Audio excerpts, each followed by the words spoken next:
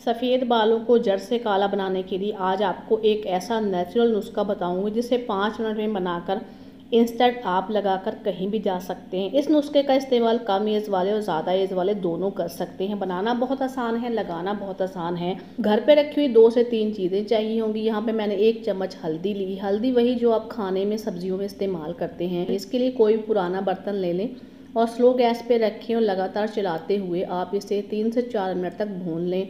आपको हल्दी उतनी ही लेनी है जितने बड़े या छोटे आपके बाल हैं। तो मैं इसे लगातार चला रही हूँ और इसे हमें ब्लैक हल्दी में कन्वर्ट करना है। हल्दी जो होती है, ये आपके बालों के लिए बहुत ही फ़ायदेमंद होती है। आपके बालों को जड़ों से मज़बूत करती है, काला बनाती है और साथ ही ये एंटीसेप्टिक भी होती है। तो यहाँ पे देखिए, हल्दी का ब्लैक पाउडर बन के तैयार हो गया। ठंडा करने के बाद इसे हम एक बोल में निकाल लेते हैं।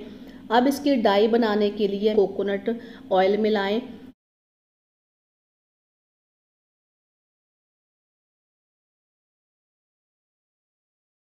टूथब्रश ले लें, कोई पुराना घर पे ख़राब रखा हुआ या फिर हेयर ब्रश ले लें या फिर हाथों की हेल्प से फिंगर से भी आप लगा सकते हैं। जहाँ जहाँ पर आपके सफ़ेद बाल हैं, वहाँ पर आप इसे लगाएँ और फिर आप इसे थोड़ा ड्राई होने दें और कहीं पे भी आप जा सकते हैं। ज़्यादा इस पेस्ट को आपको पतला नहीं करना है, थोड़ा गाढ़ा ही रखना है।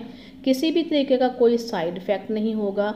अगर आप वीक में इसे एक या फिर दो बार भी लगाते हैं ना तो बालों पर किसी तरीके का नुकसान नहीं होगा, कम एज या फिर ज़्यादा एज वाले भी लगा सकते हैं।